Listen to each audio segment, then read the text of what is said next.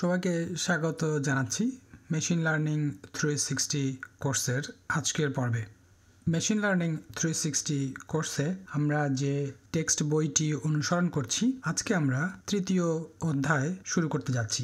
তৃতীয় অধ্যায়ের অনেকগুলো টপিক আছে, তার মধ্যে উল্লেখযোগ্য হচ্ছে রিগ্রেশন মডেলিং আজকে আমরা রিগ্রেশন এবং কোরিলেশন নিয়ে আলোচনা করব।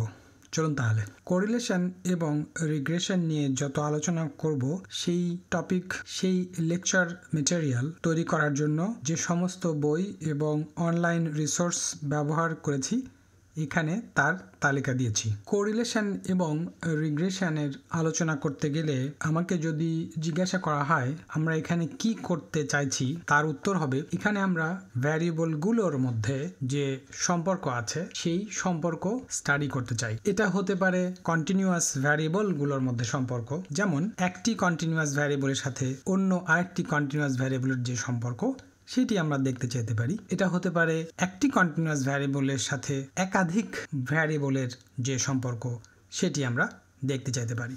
যেমন ব্লাড গ্লুকোজ লেভেল এর সাথে একজন মানুষের যে বডি ওয়েট আছে, তার একটা সম্পর্ক আমরা দেখতে চাইতে পারি। এটি একটি ভ্যারিয়েবলের সাথে আরেকটি ভ্যারিয়েবলের যে সম্পর্ক সেটিকে নির্দেশ করছে। এ ধরনের সম্পর্ককে আমরা ম্যাথামেটিক্যালি বা স্ট্যাটিস্টিক্যালি এভাবে বলে থাকি যে blood glucose level is a function of weight এখানে যে এফ লেখা আছে, এটা মানে হচ্ছে ফাংশন মানে হলো যে ব্লাড গ্লুকোজ লেভেলের সাথে ওয়েটের একটা সম্পর্ক আছে, সেটা আমরা দেখতে চাই। আরেকটি উদাহরণ হচ্ছে ব্লাড গ্লুকোজ লেভেল শুধুমাত্র বডি ওয়েটের সাথেই সম্পর্কযুক্ত নয়, আরও অন্য ভ্যারিয়েবলের সাথেও সম্পর্কযুক্ত থাকতে পারে। যেমন ব্লাড গ্লুকোজ লেভেল বডি ওয়েটের সাথে সম্পর্ক থাকতে পারে, তারপরে এইজের সাথে সম্পর্ক থাকতে পারে, এরকম আরও ভ্যারিয়েবলের সাথে সম্পর্ক থাকতে পারে। এরকম সম্পর্ককে আমরা ম্যাথামেটিক্যালি বা স্ট্যাটিস্টিক্যালি এভাবে বলব যে blood glucose level is a function of body weight and age এরপরে কন্টিনিউয়াস ভ্যারিয়েবলের সাথে ক্যাটেগরিক্যাল ভ্যারিয়েবলের সম্পর্ক আমরা দেখতে চাইতে পারি। যেমন, একটি কন্টিনিউয়াস ভ্যারিয়েবল অন্য কন্টিনিউয়াস ভ্যারিয়েবল কিংবা ক্যাটাগরিক্যাল ভ্যারিয়েবল বা মিক্স টাইপ ভ্যারিয়েবলের সাথে সম্পর্ক যুক্ত থাকতে পারে, আমরা সেই সম্পর্কটি দেখতে চাইতে পারি। তেমনিভাবে, একটি ক্যাটাগরিক্যাল ভ্যারিয়েবল অন্য মিক্স টাইপ ভ্যারিয়েবলের সাথে সম্পর্ক যুক্ত থাকতে পারে, সেটি আমরা দেখতে চাইতে পারি। যেমন, আগের উদাহরণকে আমরা যদি এক্সটেন্ড করি, তাহলে এভাবে বলা যায় যে blood glucose level body weight তারপরে সেক্স এবং এইজের সাথে সম্পর্কযুক্ত। এখানে ব্লাড গ্লুকোজ লেভেল হচ্ছে একটা কন্টিনিউয়াস ভ্যারিয়েবল ওয়েট একটা কন্টিনিউয়াস ভ্যারিয়েবল এইজ একটা কন্টিনিউয়াস ভ্যারিয়েবল কিন্তু সেক্স এটা হচ্ছে একটা ক্যাটাগরিক্যাল ভ্যারিয়েবল যেটাকে আমরা মেল বা ফিমেল দিয়ে চিহ্নিত করি। তো সেটাই বলা হচ্ছে যে একটি কন্টিনিউয়াস ভ্যারিয়েবলের সাথে মিক্স টাইপ ভ্যারিয়েবলের যে সম্পর্ক, যে রিলেশনশিপ সেটা আমরা স্টাডি করতে পারি। আবার আরেকটি উদাহরণ দেখি, সেটা হলো যে কোভিড আক্রান্ত হয়ে মারা গেছে কি বেঁচে আছে, এটা হচ্ছে একটা ক্যাটাগরিক্যাল ভ্যারিয়েবল এবং সেই ভ্যারিয়েবলটা অন্য কি কি ভ্যারিয়েবলের সাথে সম্পর্কযুক্ত থাকতে পারে, সেই ধরনের একটা রিলেশনশিপ আমরা দেখতে চাইতে পারি। যেমন মারা গেছে কি যায়নি, সেটা তার বডি ওয়েট তারপরে তার সেক্স এবং তার এইজের সাথে সম্পর্কযুক্ত থাকতে পারে। তারপরে আমরা এরকম সিচুয়েশনেও দেখতে পারি যে একটা ক্যাটাগরিক্যাল ভ্যারিয়েবল আর একটা ক্যাটাগরিক্যাল ভ্যারিয়েবলের সাথে কীভাবে রিলেটেড কীভাবে সম্পর্কযুক্ত, সেটা আমরা দেখতে পারি।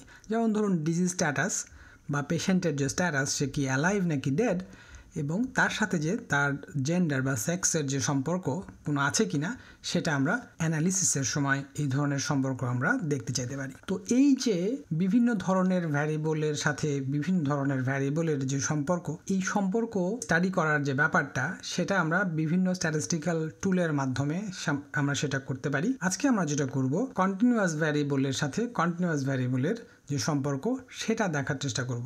সেটার যে প্রথম টপিক আমাদের আলোচনা করতে হবে, সেটি হলো কোরিলেশন কোরিলেশন এবং রিগ্রেশন সাধারণত একসাথেই আসে, কারণ রিগ্রেশন বুঝতে গেলে প্রথমে আপনাকে কোরিলেশন বুঝতে হবে। তো সেই কারণে আমরা প্রথমে কোরিলেশন দিয়ে শুরু করে, যেখানে আমরা দুটি কন্টিনিউয়াস ভ্যারিয়েবলের মধ্যে যে সম্পর্ক আছে, সেটি বোঝার চেষ্টা করব, সেটি স্টাডি করব, সেটি কীভাবে পরিমাপ করে, কীভাবে ইন্টারপ্রেট করে, সেটি শিখব এবং তারপরে আমরা রিগ্রেশন মডেলে চলে যাব। কোরিলেশনে আমরা দুটি কন্টিনিউয়াস ভ্যারিয়েবলের মধ্যে সম্পর্ক দেখে থাকি। যেমন সিস্টোলিক ব্লাড প্রেশার এবং মানুষের বয়স। সিস্টেমিক ব্লাড প্রেশার এবং এইজ এর মধ্যেকার যে সম্পর্ক, সেটি আমরা কোরিলেশনের মাধ্যমে দেখতে পারি।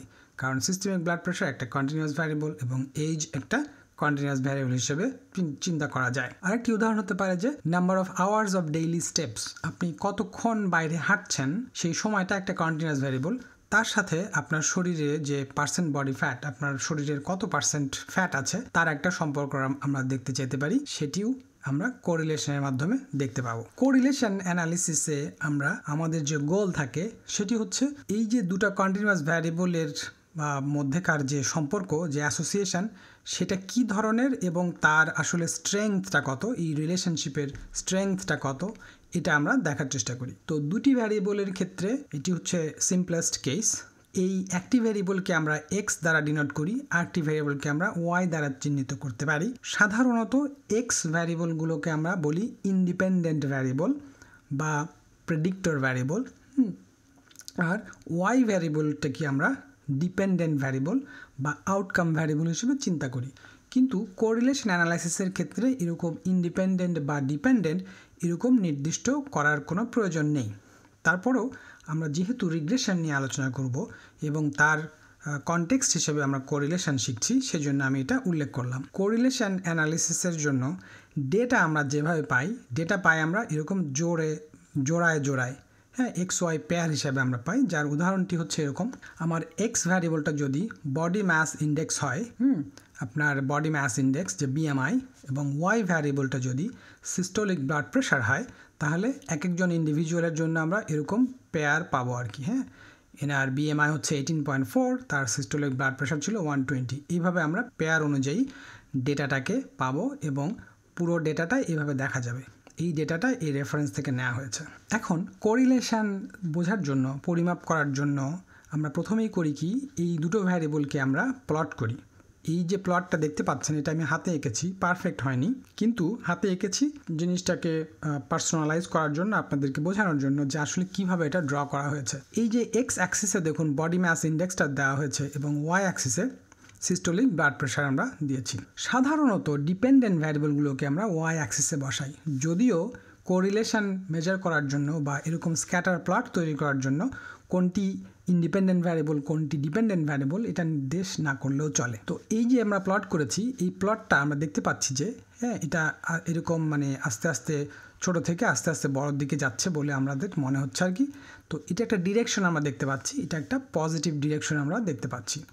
তো কোরিলেশন যখন আমরা ক্যালকুলেট করেছি স্যাম্পল কোরিলেশন কোএফিসিয়েন্ট এই ফর্মুলার মাধ্যমে, তাদের ফর্মুলা এখন না জানলেও চলবে। আমরা কম্পিউটার দিয়ে এই কোরিলেশন ক্যালকুলেট করব। কোরিলেশন দেখতে পাচ্ছি আমরা পয়েন্ট এইট ফাইভ নাইন তাহলে এই যে কোরিলেশন বের করলাম, এটাকে আমরা কীভাবে ইন্টারপ্রেট করব? চলুন তাহলে দেখি। Sample correlation coefficient between body mass index and systolic blood pressure আমরা পেয়েছি পয়েন্ট এইট ফাইভ নাইন রাফলি পয়েন্ট এইট সিক্স কোরিলেশনের ভ্যালু নেগেটিভ ওয়ান থেকে পজিটিভ ওয়ানের মধ্যে থাকে। এখন আমাদের যে স্যাম্পল কোরিলেশন কোএফিসিয়েন্ট যে ভ্যালুটাকে সেটাকে বলছি কোএফিসিয়েন্ট বলা হয়, তো এই নাম্বারটি, এটি আমাদের একটা পজিটিভ নাম্বার এবং এই নাম্বারটা একটা লার্জ নাম্বার কেন লার্জ নাম্বার বলছি? কারণ কোরিলেশনের ভ্যালু যেহেতু নেগেটিভ ওয়ান থেকে পজিটিভ ওয়ানের মধ্যে থাকে, তো এই নাম্বারটি পজিটিভ ওয়ানের কাছাকাছি। তার মানে এটা একটা বড় নাম্বার এবং একটা পজিটিভ নাম্বার তো সেই কারণে আমরা এভাবে বলতে পারি যে there is a strong positive correlation between BMI এবং সিস্টোলিক ব্লাড প্রেশার এই যে স্ট্রং পজিটিভ কোরিলেশন এটা হচ্ছে আমাদের একটা ইন্টারপ্রিটেশন কেউ এটাকে স্ট্রং বলতে পারে, কেউ এটাকে মডারেটলি স্ট্রং বলতে পারে, এটা সাবজেক্টিভ তাহলে এরকম একটি কোরিলেশনের ভ্যালু যখন আমরা পাবো, এটা আসলে কি বোঝাচ্ছে? এটার দ্বারা আমরা এটা বুঝতে পারছি যে আপনার বিএমআই যত বাড়বে, কারণ যেহেতু বিএমআই এবং সিস্টোলিক ব্লাড প্রেশারের মধ্যে একটা স্ট্রং পজিটিভ কোরিলেশন আমরা দেখেছি, যেটি আমরা এই ফিগার থেকেও দেখতে পাচ্ছি যে এটা উপরের দিকে যাচ্ছে। বিএমআই যত বাড়ছে, আপনার কোরিলেশনের সিস্টোলিক ব্লাড প্রেশারের পরিমাণ বেড়ে যাচ্ছে। হুম, তো সেটাই এখানে বলছে যে আমাদের বিএমআই যত বাড়বে অর্থাৎ আপনার বডি ওয়েট যত বেড়ে যাবে, আপনি ওভার ওয়েট এবং ওবিস হয়ে যাবেন, আপনার সিস্টোলিক ব্লাড প্রেশার আস্তে আস্তে তত বেড়ে যাবে, দ্রুত বেড়ে যাবে which is a bad thing এবারে আমরা কোরিলেশন এই ব্যাপারটা একটা কম্পিউটার সিমুলেশনের মাধ্যমে ডেমনস্ট্রেট করে আরেকটু পরিষ্কার ধারণা নেওয়ার চেষ্টা করব। তার জন্য আমরা এখানে যে ওয়েবসাইটটি আছে, একটা শাইনি অ্যাপ আছে ওয়েব অ্যাপ সেখানে আমরা চলে যাব এবং সেখান থেকে আমরা দেখার চেষ্টা করব। আমরা এই ওয়েবসাইটটিতে এসেছি এবং সেখানে আমরা দেখছি যে আমাদের বাম পাশে কিছু অপশন আছে এবং এটি হচ্ছে বাইভ্যারিয়েট কোরিলেশন সিমুলেশন এবং বাইভ্যারিয়েট স্ক্যাটার প্লটিং। তো আমাদের যে উদাহরণ আমরা দিয়েছিলাম, সেখানে আমাদের কোরিলেশন কোফিসিয়েন্টটা পয়েন্ট এইটের কাছাকাছি ছিল। তো আমাদের এখানে যে অপশন আছে, সেটা হলো যে আমরা প্রথমে ডেটা সিমিউলেট করব একটা ডিস্ট্রিবিউশন থেকে, একটা বাইভ্যারিয়েট নর্মাল ডিস্ট্রিবিউশন থেকে। অর্থাৎ আমাদের একটা পপুলেশনে যে ভ্যালুগুলো আছে, সেটা পপুলেশনের যে ডিস্ট্রিবিউশন আছে, সেখান থেকে আমরা স্যাম্পল নিব এবং স্যাম্পলের সাইজ হবে ফিফটি এবং এখানে আমাদের যে এক্স যে ইন্ডিপেন্ডেন্ট ভ্যারিয়েবল তার একটা মিন ভ্যালু আছে এবং ডিপেন্ডেন্ট ভ্যারিয়েবল একটা মিন ভ্যালু আছে এবং আমরা সেখান থেকে বাইভেরিয়েট নর্মাল ডিস্ট্রিবিউশন থেকে আমরা ডেটা সিমুলেট করব। আপনি যদি এই যে যে জিনিসগুলো বললাম, এটা যদি আপনি বুঝতে নাও পারেন দ্যাটস ওকে আপনি don't worry about it just এটুকু বুঝেন যে আমরা একটা ডেটা সিমুলেট করছি জেনারেট করছি আর্টিফিশিয়ালি জেনারেট করছি একটা হাইপোথেটিক্যাল ডিস্ট্রিবিউশন থেকে, যে ডিস্ট্রিবিউশনের কোরিলেশন কোফিশিয়েন্ট হচ্ছে পয়েন্ট এইট এবং সেখান থেকে আমরা পঞ্চাশটা স্যাম্পল নিয়েছি এক্স এবং ওয়াইয়ের এবং সেটা এই পাশে আমরা প্লট করেছি। দেখুন এক্স এবং ওয়াইয়ের যে প্লট এবং এই যে পজিটিভ স্ট্রং পজিটিভ কোরিলেশনের কোরিলেশন আছে, এরকম একটা ডিস্ট্রিবিউশন থেকে ডেটা জেনারেট করেছি, ফলে তার স্যাম্পল কোরিলেশন কোফিসিয়েন্টটাও কিন্তু দেখুন ভেরি স্ট্রং এবং আমাদের এই যে ডিরেকশন দেখাচ্ছে, যে এটা হচ্ছে একটা স্ট্রং পজিটিভ কোরিলেশন আমরা যদি কোরিলেশনটা আরও বাড়িয়ে দিই, তাহলে দেখব যে এই এই রিলেশনশিপটা আরেকটু স্ট্রং হবে। হুম?